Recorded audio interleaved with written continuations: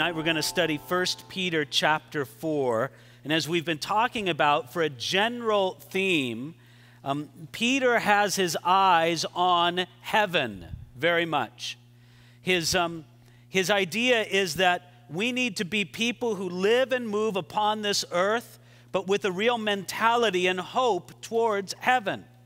And so we're going to see this again because it's sprinkled throughout this letter of First Peter.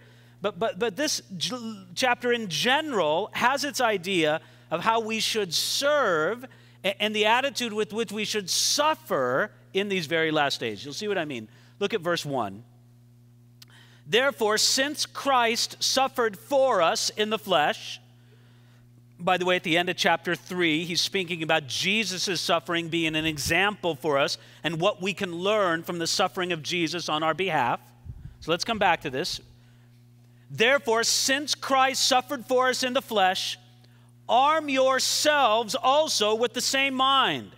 For he who has suffered in the flesh has ceased from sin that he no longer should live the rest of his time in the flesh for the lusts of men, but for the will of God. What Peter does in the first two verses of 1 Peter chapter 4 is he calls you and I, his readers, every believer who will pay attention, he calls us to equip ourselves with a certain determination, a certain attitude in the battle against sin and for holiness. The basic idea is this is that the commitment God calls us to have is patterned after the commitment that Jesus had in enduring all that he endured in and through his sufferings on the cross. We need to have a commitment to God that will endure in these last days. Notice the phrase from verse 1 arm yourself with the same mind. Isn't that sort of an interesting phrase? We usually think of something, arm yourself with a big handgun. Arm yourself with an assault rifle. No, no, no. There, there's a kind of arming yourself that's even more important than a physical weapon you can put in your hand because you could give somebody the best weapons in the world, but if they don't have the right mentality to use them wisely and accurately, what good is it? He's saying, arm yourself with a certain kind of mentality, an attitude that says, I'm going to be willing to sacrifice for the sake of following Jesus Christ. Sometimes in the Christian life, we only want victory if it'll come easy. Okay, God, I'll take all those easy victories. The, the stuff that just kind of rolls my way, give those to me. The things I'm going to really have to press forward and reach out for and, and strive to attain in my Christian life, no, I'm not interested in those. Peter says, get rid of that attitude have the attitude that you're going to arm yourself with the same mind that sent Jesus to the cross to make his sacrifice. You know, Jesus spoke about the kind of mentality we need to have in the battle against sin. He said some things that some people wish he wouldn't have said, and I understand why they wish he wouldn't have said them.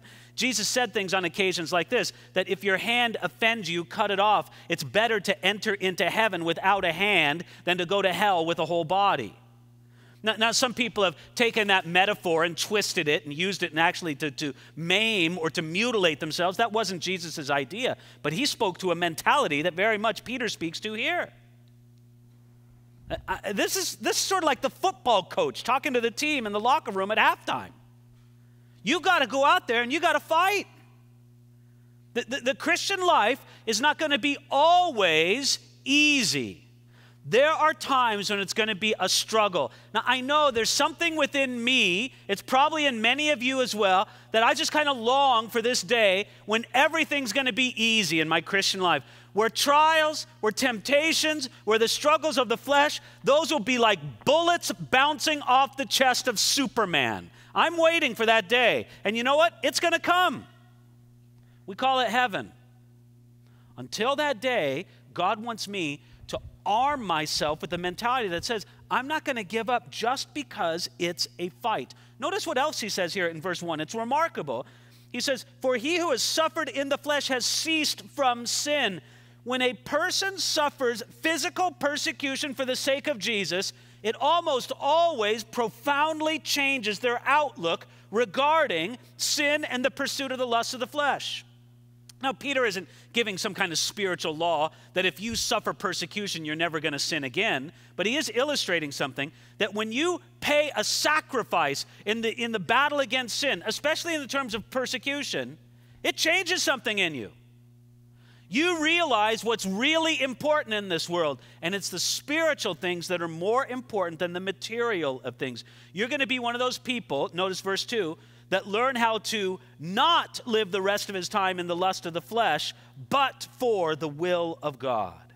And look at this phrasing in verse 3, starting in verse 3. It's beautiful. What a, what a word for our age, for our present day, starting here at verse 3. Take a look at this.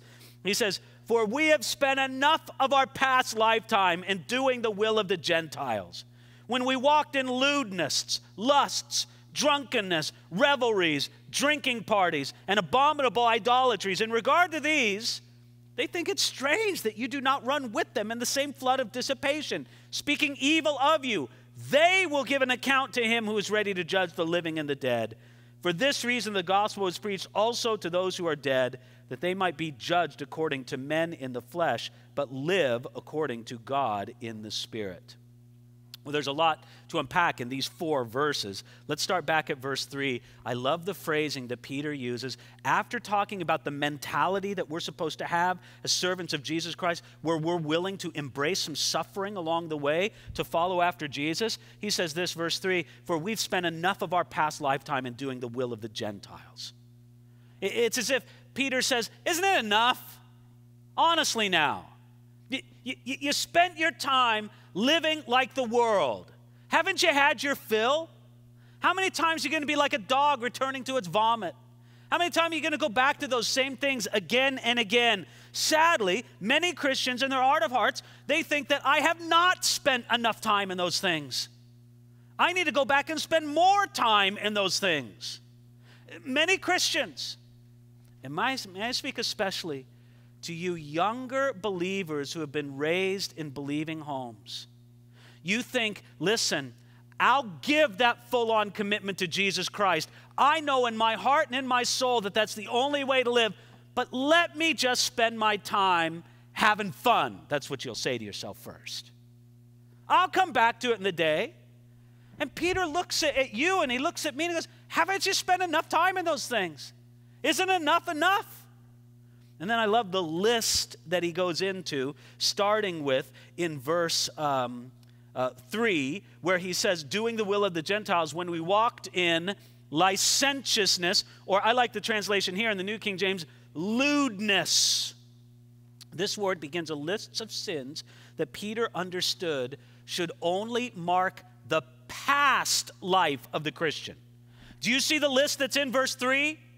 That should mark the past life of the Christian, not the present life, and certainly not the future life of the believer. And he begins with an interesting word. It's the word translated in the New King James Version, lewdness. The, the ESV and the New American Standard have sensuality, and the NIV has the word, uh, it's a great word. I, I, wish we used it more in our culture because we sure have enough of it in our culture. I wish we used it debauchery.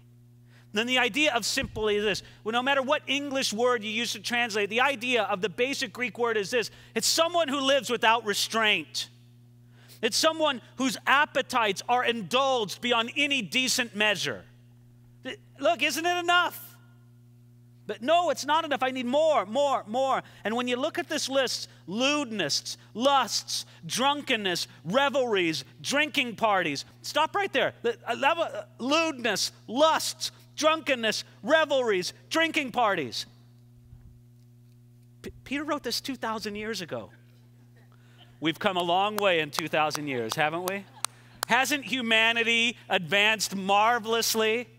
Be- because humanity has advanced so wonderfully in 2,000 years that this list is completely irrelevant to us in the present age.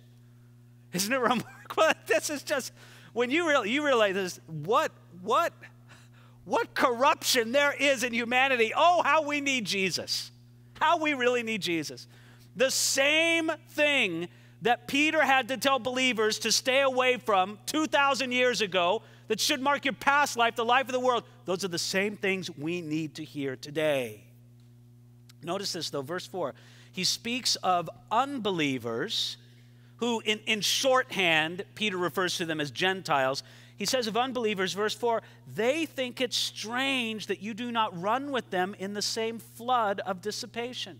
When the world looks at our godly living, they think it's strange that we don't follow after them. You, you, you mean you don't? Why?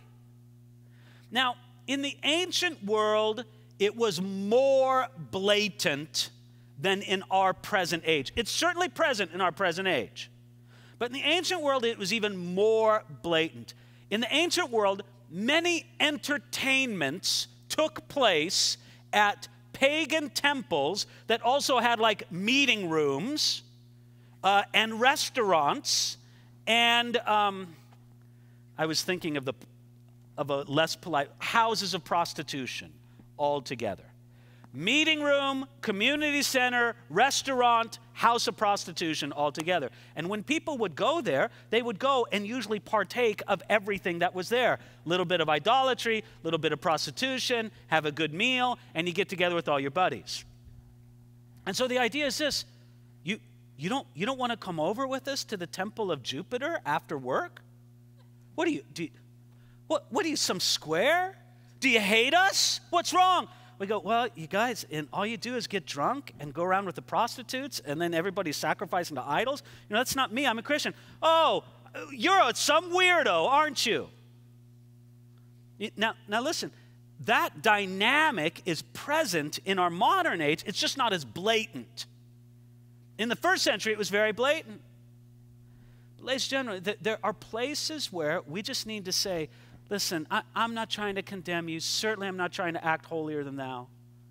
But, but the, the, the reason why I can't go with you has nothing to do with you, it has everything to do with me. I'm trying to live a life where those things are in the past, not in the present. So let's go to Starbucks or let's go to a coffee place instead and, and leave those other things aside but they'll think strange of it. And verse 4 says that at times they will speak evil of you because of it. They'll speak evil of you. Wow, look at them. Look at, oh, she's so high and mighty, she doesn't want to be a part of the things we're a part of. Well, what, you, and they'll say things like that. That's part of what we need to endure as believers. But, notice verse 5 they will give an account to him who is ready to judge. Those who denigrate Christians for um, restraining themselves from sin, they will have to answer for that before God. Now, verse 6 is weird. Can I say that as a Bible teacher? That there are some verses in the Bible that are just like, whoa, that's weird. In the midst of this talking about judgment to come, Peter sort of drops a little bomb here at verse 6 where he says, for this reason, the gospel was preached also to those who are dead. What? When was the gospel preached to those who are dead? You see, Peter says that because of this eternal judgment, the gospel was preached to the dead. The righteous dead know and they live on in constant awareness of the reality of eternity. They know. You don't have to convince anybody who's passed from this life to the world beyond that eternity is real. You and I maybe have the luxury of thinking, well, is it real or is it not? They don't have that luxury, they're living in it. So that's one idea, but th- th- there's two basic different ideas on what Peter meant by the words preached also to those who are dead. Who are these dead people that Jesus preached to? Well, I'll give you two ideas. You can pick either one. Here's number one. The first idea is that these are the faithful ones who died before Jesus' work on the cross. Jesus told a story in Luke chapter 16, and, I go against many Bible teachers in my own peculiar understanding of this. I don't think this was a parable, I think this was a story that Jesus told about a rich man who died and a poor man who died. And the rich man was very wicked, and the poor man was righteous. And they both went to Hades, the realm of the dead. Now, again, this is before the finished work of Jesus on the cross. They both went to Hades, the realm of the dead. But there was a terrible place in Hades, region, if you want to call it, in Hades, a place of torment. But there was also a pleasant place in Hades, the realm of the dead, called Abraham's bosom. It was where he got to hang out with Abraham and all the great men of old. Well, it may very well be that when Jesus preached to those who are dead, it speaks about not giving these people a second chance, but just simply Jesus announcing to the faithful dead who died in faith that the work of the Messiah to come, he came and said, I did it. Here's the good news. Now you can come to heaven with me. That's a very good supposition of whom the dead were that Jesus preached to. But there is another idea.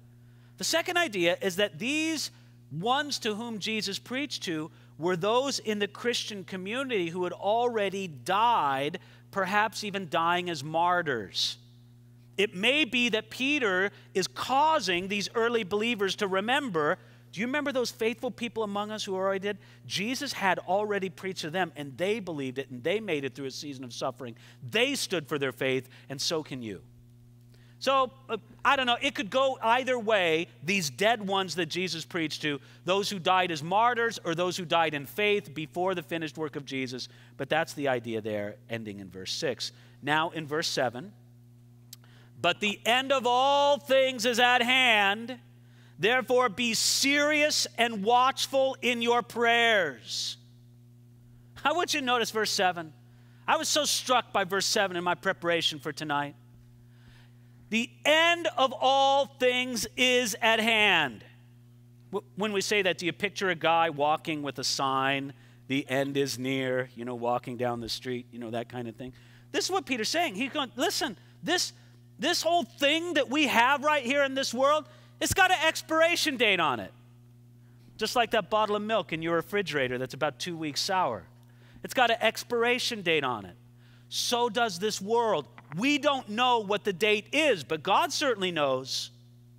And just like that bottle of milk in your refrigerator, it is certainly going to spoil one day and needs to be gotten rid of. God knows when the right day is to change out the bottle, so to speak, in his refrigerator. The end of all things is at hand. Jesus Christ is coming again. We need to be ready and aware for his coming. Okay, you got that in your mind, solidly in your mind there? Now, notice the next part of verse 7. Therefore, be serious and watchful in your prayers. If you are really into the return of Jesus Christ, it should make you a man or a woman of prayer. And look, I, I know, I know you might know the mysteries of biblical prophecy down to the, the most minute little edge. And I'm not depreciating it. I find biblical prophecy fascinating. Listen, if it doesn't result in a deeper and more passionate prayer life, what is really your understanding of, of the end times? This is what it should result in. But that's not all it should result in. Look at verses 8 through 11.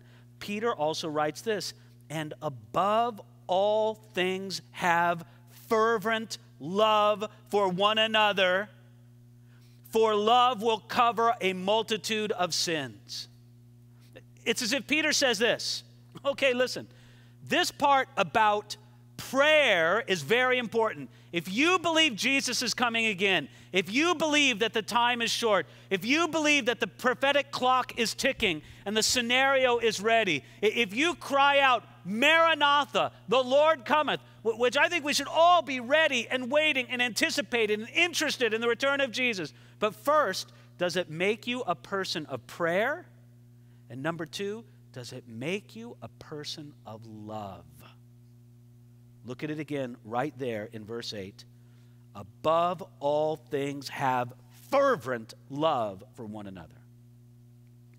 Ladies and gentlemen, if these are the last days, and I believe they are, it's more important than ever that we love those with whom we're going to share eternity with. We need to make every effort to get along with each other. Because you know what? We're going to heaven together and we're going to be there for eternity. We may as well practice getting together, getting, getting on, you know, well with each other right now. If you believe it soon, then you better make up things now with other people. In light of eternity, we must have a fervent love for one another. Why? Look at the other part of verse 8. For love will cover a multitude of sins. Ladies and I got to say, verse 8, I find it to be very challenging. Because sometimes love will expose sin. Sometimes love will say, You've gone on in this lie long enough. If you don't tell them, I'll tell them. Oh, I've had to have that kind of conversation with a wayward husband more than once in my ministry. If you don't tell her, I'm going to tell her you've lived in the darkness long enough. There are times where love, and I didn't do it out of anger, I, didn't do it out of, you know, hatred. There are times I know when love will expose sin. But, but I think that is more the rarity.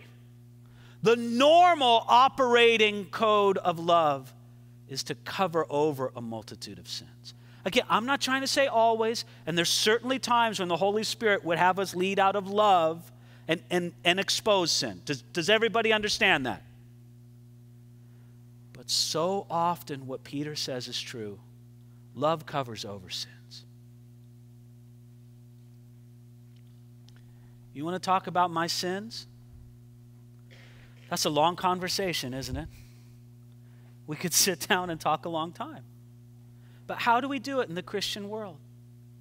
We have a generous overlooking of each other's sins and faults. Now, occasionally there's somebody, and I suppose if this person really is anointed and empowered by the Spirit of God, it's a glorious thing. Otherwise, they're, they're almost from the pit. But every once in a while, there's a person who feels like it's their Christian duty to challenge everybody on every fault and flaw that they have. Oh, that, that's just not common operating procedure in the body of Christ. Love covers a multitude of sins. Now, again, I, I, I, hope you appreciate I'm such of two minds of this. I can see this verse being abused so easily. I can see an abusive husband pressuring his wife to not report what she should report to the police based on a principle like this. I can envision in my mind um, a, a, drug addict who gets caught in the act and really needs to be brought up to face the consequences of their actions, but, but does everything and persuades other people to hide it over and to enable them and to cover them because we're based trying to appeal to this principle. So you see, I'm conflicted because there are times when sin needs to be exposed.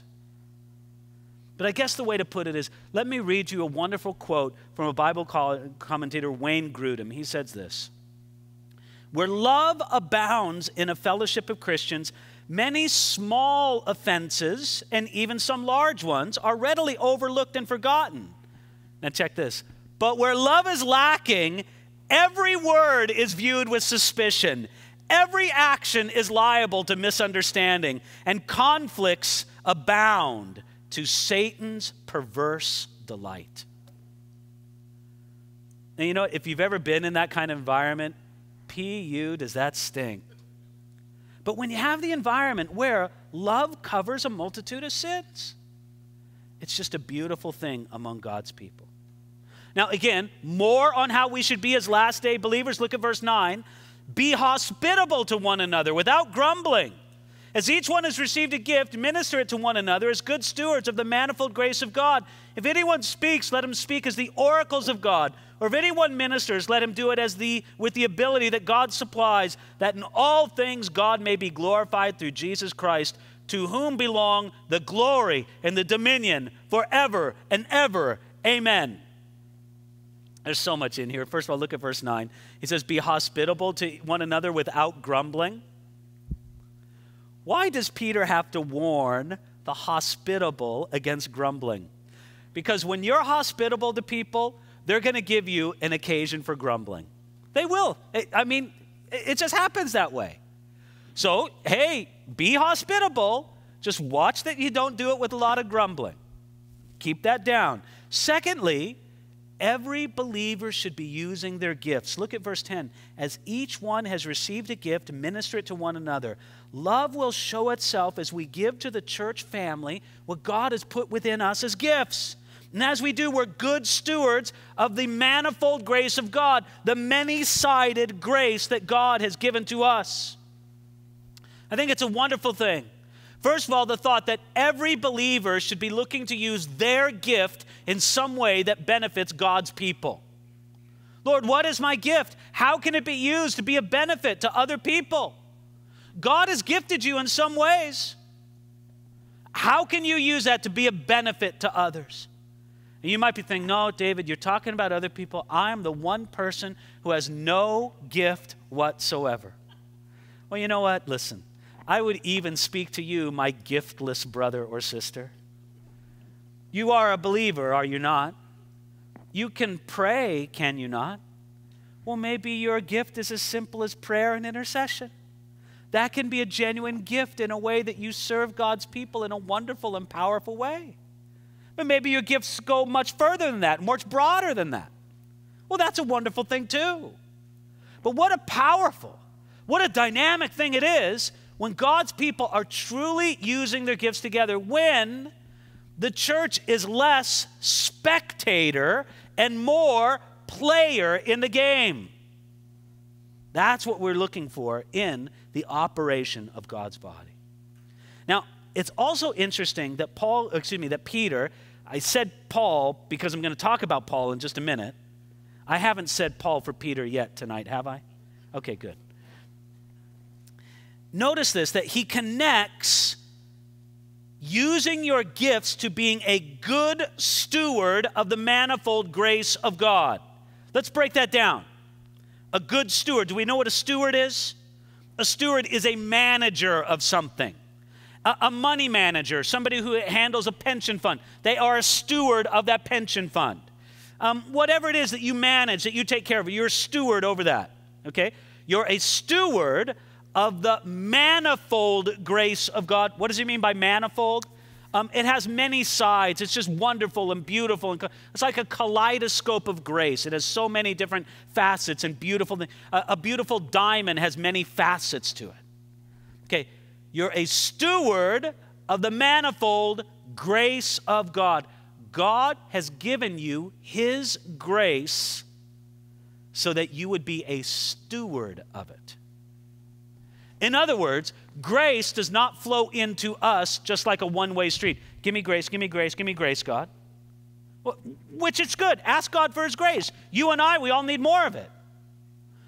But God gives us grace so that we can be stewards of it. This is very similar to something that the apostle Paul wrote in 1 Corinthians 15:10.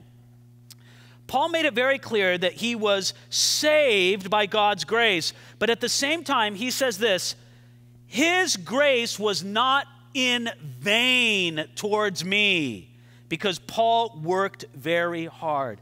There is a sense in which I pause just a little bit because some people from theological backgrounds would, would disagree very vehemently with what I'm going to say. But what Peter's talking about and what Paul speaks about in 1 Corinthians 15, there is a sense in which God's grace is wasted upon people. Some people receive God's grace and don't do anything with it. They are not a good steward of the manifold grace of God. And God's work isn't furthered as it could be. So, therefore, what are you supposed to do? Verse 11 If anyone ministers, let him do it with the ability that God supplies. And then I love how Peter goes on at the end of verse 11, which he says, That God may be glorified through Jesus Christ, to whom belong glory and dominion forever and ever. Amen. Here, he's very, being very much like the Apostle Paul in some of his letters, where he just gets all wound up, and pretty soon he's just praising God and has to take, okay, wait a minute, I got more to write here. He, he just got all excited and started doing his doxology already there at verse 11. Now at verse 12. Back now to addressing suffering Christians, he says, Beloved, do not think it strange concerning the fiery trial which is to try you, as though some strange thing happened to you, but rejoice to the extent that you partake of Christ's sufferings that when his glory is revealed, you may also be glad with exceeding joy. There is a fiery trial which is to try you. Don't think it's strange. Friends, it's a big deal here. It's a very important idea in the Christian life. That some people come to Jesus Christ and they put their faith in Him as Savior and Lord with a wrong conception. And the conception goes something like this Jesus Christ is going to make my life easy and pleasant and comfortable. If you have that mentality, when a fiery trial comes into your life, you're going to think it's the strangest thing that ever happened. Whoa, hey, I didn't sign up for this. I, I put my trust in Jesus to get me out of stuff like this. Not, not, not that I would experience stuff like this. What's going on around here? Peter's saying, Do not think it's strange about the fiery trial that has come upon you. But by the way, before I get into verse 13, I got to say one more thing about verse 12. Do you remember a time when Peter thought it was strange about a fiery trial? When Jesus told his disciples, he said, Listen, guys, um, the Son of Man, he's got to go and be rejected of the Gentiles. I'm going to be delivered to them, rejected by the religious leaders. I'm going to be delivered to the Gentiles. I'm going to be crucified. And what Peter thought that was the strangest thing he ever heard. No, don't you do that, Jesus. That's completely wrong.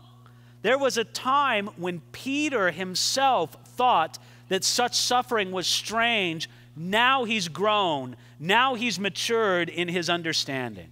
Instead, he says, he says, But rejoice to the extent that you partake of Christ's sufferings. Friends, I want you to look at those words very carefully. You partake of Christ's sufferings. Do you understand what that means? What, what does it mean to partake? I'm going to partake of some water right now. I shared the water that was in this bottle and I shared it inside my own mouth and swallowed it. That's partaking of the water. There is a sense in which we as believers, we share in the sufferings of Jesus Christ. That's a profound statement. All right, stay with me on this. Were the sufferings of Jesus full of meaning? Were they full of significance? Yes, they were. I'll fight you on that all day long if you want to try to tell me that the sufferings of Jesus were meaningless, that they had no significance. We can argue about that after my teaching. But I'm going to tell you the sufferings of Jesus were deeply meaningful, full of significance. Now, catch this. If your sufferings can be connected to His, your sufferings are meaningful and full of significance. Look, let's get right down to it. What fills us with despair usually is not just the sense that we're suffering. Come on, we're not babies that bad. We're, we're oh, you know, I mean, we, we kind of gave it up where we, where we cry like babies when we get a shot at the doctor's office. Why? Okay, I know I need it. It's important. Go ahead. Boom. Okay, I get it. It hurts, but I didn't like it, but I knew it had meaning. I knew it was significant. Now, here's the point. If all your sufferings can be attached to what Jesus did and share in some of its meaning and significance, there's no suffering that's wasted in your life. Friends, it's meaningless suffering that drives us to despair. It's, it's insignificant things that got, why, why, why? But if we knew there's something meaningful, something important in it, we would steel ourselves up with a new sense of strength and resolve, and we would say, Lord, you giving me strength, we're going to work through this, God. And therefore, verse 13, you can rejoice to the extent that you partake of Christ's suffering, that when his glory is revealed, you may also be glad with exceeding joy. The closer you've been to Jesus in this life, including what Paul called the fellowship of his sufferings, the more you're going to rejoice when Jesus Christ is finally revealed. we should never deny the place of suffering in building godliness in the Christian life. Uh, there's enough needless pain that we put upon ourselves. But the things that we endure in the plan of God and unto the glory of God, they are absolutely transforming by His Spirit and build in us hearts that are closer to Jesus than ever. Don't waste your sorrows. Don't waste your suffering. Why are you going to let it go to waste? This could be a powerful tool to draw you closer to your Savior than ever. So don't waste it. Let it do its good and perfect work. Now, starting at verse 14, there's a big difference between suffering as a Christian and suffering as an evildoer. Notice verse 14. If you are reproached for the name of Christ, blessed are you, for the Spirit of glory and of God rests upon you. On their part, he's blasphemed, but on your part, he's glorified. But let none of you suffer as a murderer, a thief, a evildoer, or a busybody in other people's matters. Yet if anyone suffers as a Christian, let him not be ashamed, but let him glorify God in this matter. I love how Peter writes, so practical. He's been talking to us about the glory and the significance of suffering, how our suffering can be attached to Jesus' suffering and therefore gain meaning and significance that, that extends even into the next world. But, but then in verse 30, well, listen, I didn't mean every suffering, Peter says. You know that stuff you suffer because you were evil? Yeah, that, that probably doesn't count so much. I mean, look at the way he describes this. He says, If you are reproached for the name of Christ, that's glorious. But let none of you, verse 15, suffer as a murderer, a thief, an evildoer, or a busybody. By the way, did you notice that list? Can I just read that to you again? Here we go. Ready? Murderer, thief, evildoer, busybody. Wow. What is a busybody? I suppose one way to define a busybody, I guess I should have looked this up in the Greek, busybodios or something like that. one way to understand the idea of busybody, it's someone who takes more entertainment value in the lives of other people than in their own life. In other words, you talk, you live, you, you give your opinions about, you give your judgments about the lives of other people instead of being focused on living your own life. You're busy about other people's business instead of paying attention to your own. And I just think it's a fascinating thing that when Peter's listing like this rogues gallery of sinners, murderers and busybodies, thieves and busybodies, evildoers and busybodies. It's a heavy thing. These busybodies in other people's matters suffer a lot of grief and pain, but not for the sake of Jesus. So if you came to Peter and say, Peter, I'm suffering so much. All my friends don't like me because I, am such a busybody in their matters. Peter's like, um, yeah, well, don't pin that one on Jesus. That's for your own sake.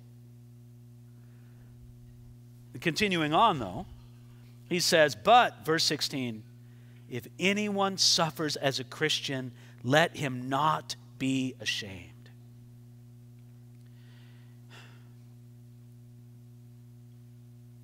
It is so difficult for us to comprehend in the Western world, though we're moving in this direction about the shame that is heaped upon Christians in many parts of the world. If you are a Christian, you are made to feel as if you are the most worthless piece of garbage that ever laid in a gutter. It is thought to be such a shameful, degraded thing to be a follower of Jesus in many parts of the world where Christians are persecuted. And Peter wants everybody to know you got nothing to be ashamed about. Jesus Christ is your Lord and Savior. You, you really are on the winning side. If anyone suffers as a Christian. Now, by the way, I find it fascinating here that he uses the term Christian. Did you know that the word Christian is only used three times in the New Testament? Are you aware of that? It's kind of fascinating what the word means. It's a Greek word here, of course, but it comes from a Latin formulation. Sometimes people wrongly say, and I've probably wrongly said this at time, that Christian means like little Jesus, little Christ. That's really not the idea. It's more the of the party of Jesus. I'm associated with Jesus. I'm with him. I'm of his group. Count me with him. And so Peter's saying, if anybody, if you suffer because you are a Christian, you're associated with Jesus Christ. That's what it means to be a Christian. And he goes, You, you don't need to be ashamed for that. You know, the original followers of Jesus were called disciples, they were called believers. They were called those people who belonged to the way. All of those were titles for followers of Jesus before they ever received the title Christian. The, the word Christian sort of came as a nickname, sort of a degrading one. Okay, nobody this just came into my head, so I'll probably regret saying it later. But I'm just giving you example. Does everybody understand what I'm going to say right now is just an example? It would be like mocking somebody by calling them Hitlerian. You're, you're of the Hitlers. You know, that kind of thing. It would be a way to just that kind of thing. Now, of course, it has that, that, that's more the idea of evil rather than shameful but they would do it to mock Christians. Oh, you're those Jesus people. Something like in the 1970s when followers of Jesus called Jesus freaks. It, it would be very much like that same idea. Now, where was that first coined? In the city of Antioch. Acts chapter 11, verse 26 tells us that the disciples were first called Christians in Antioch. Now, it's interesting. That was about AD 43. 20 years later, excuse me, no, about 16 years later, Agrippa, a Roman ruler, told Paul, You almost persuade me to be a Christian. 16 years later, that word for the follower of Jesus is on the lips of a Roman ruler. It went just from being, you know, a mocking term used on the streets of Antioch to being a broadly used term in the Roman Empire. And then just a few years after that, AD 63, about four years later, that's when Peter wrote this, calling the followers of Jesus Christians. But now let, us finish up with the last three verses of the chapter. He says, For the time has come for judgment to begin at the house of God. And if it begins with us first, what will the end be of those who do not obey the gospel of God? Now, if the righteous one is scarcely saved, where will the ungodly and the sinner appear? Therefore, let those who suffer according to the will of God commit their souls to Him in doing good as to a faithful Creator. Okay, let's remember our whole context here. Christians, you're suffering. Be courageous in your suffering. Don't give up in your suffering. Isn't this the whole context right here? Then Peter drops another bomb on us in verse 17. He says, What? For judgment begins at the house of God. God may allow suffering among believers to purify them. No, I don't want to be purified by that. Can't you just teach me a Bible study and purify me that way? Well, sometimes if we would listen to Bible studies more, there might be less, you know, purification that happens have to happen other ways. But sometimes God will allow suffering to be a purifying agent in the lives of his people. You didn't pray much. Now you're praying. You didn't cry out to God and trust him much. Now you sure are. You didn't have a passionate desperate trust in Jesus before. You sure do now. Isn't that some of the purifying that God does in and through suffering among his people? Now, notice this. now is our time of fiery trial. The ungodly will have their fire later. The fire we endure now purifies us. The fire the ungodly will endure later will punish them. This is what you need to understand.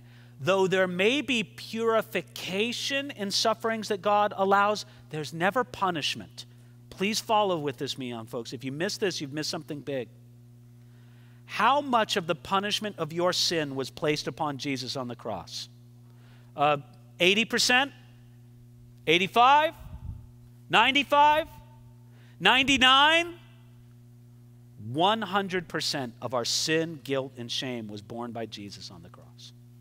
So, God does not use suffering to punish us, but He may use it at times to purify us. All the punishment we deserved was laid upon Jesus at the cross. But, friends, the same fire that consumes straw will purify gold. The fire's the same, but the purpose and its application is different and its effect is different. Even so, sometimes Christians suffer the same things that the ungodly do. Yet the purpose of God is different and the effect is different. You guys uh, ever hear of uh, Dr. Um, uh, J. Vernon McGee through the Bible radio? One time, Inga-Lill and I had the privilege to sit down and have lunch with Dr. J. Vernon McGee.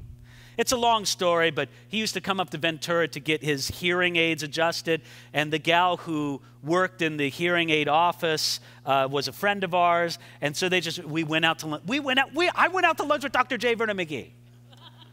and he and his wife were there. And so obviously, what you do at something like that is you just try to get Dr. J. Vernon McGee talking about stories. And so we would just throw out, it was, it's just a, it's so memorable to me. He shared about the time when his wife had given birth to a child and the child didn't make it out of the hospital.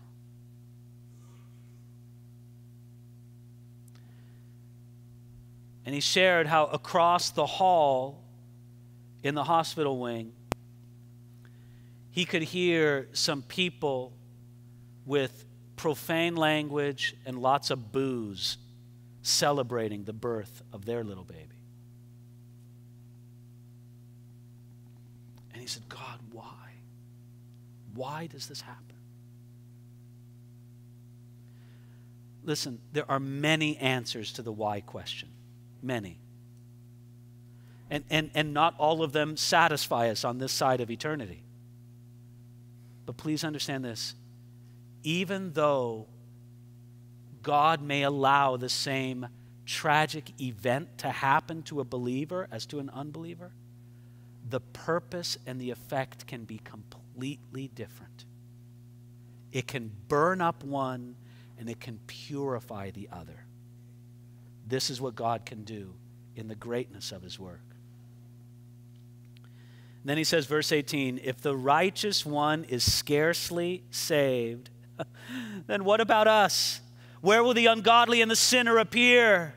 Therefore, verse 19, let those who suffer according to the will of God commit their souls to him in doing good as to a faithful creator. Isn't that the summary of everything, verse 19?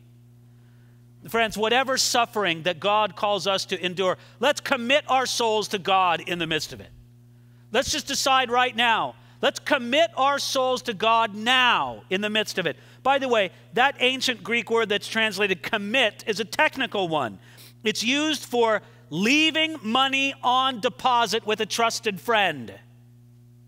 Commit your soul to God like that and commit it to Him before the battle.